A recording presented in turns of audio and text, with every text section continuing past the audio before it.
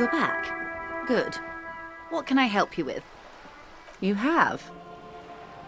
And how did you like Mr. Claire? Finally, time to choose sides.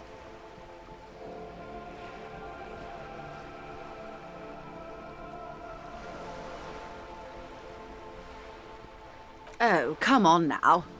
He has his uses. How else would he have stayed in power all these years? Or wait, actually, corruption. That's how he's done it.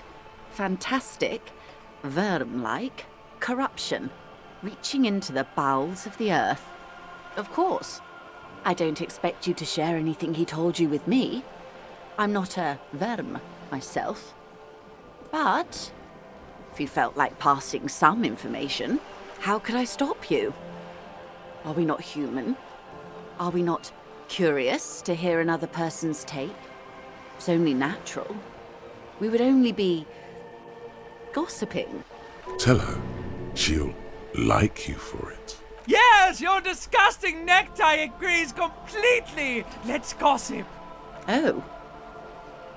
That's so helpful of him. So very, very helpful. And how is that going? Do you have any leads on that gun? Ah, yes. As you said.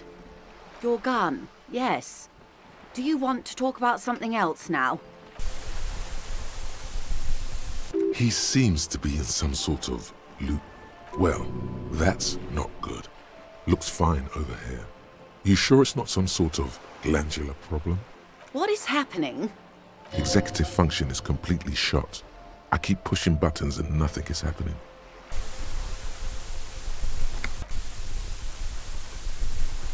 Sweetheart, please stop repeating that now.